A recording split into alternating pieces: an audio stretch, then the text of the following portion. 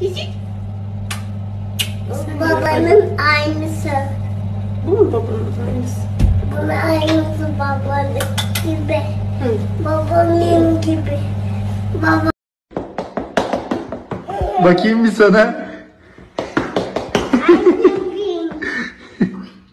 Penguin.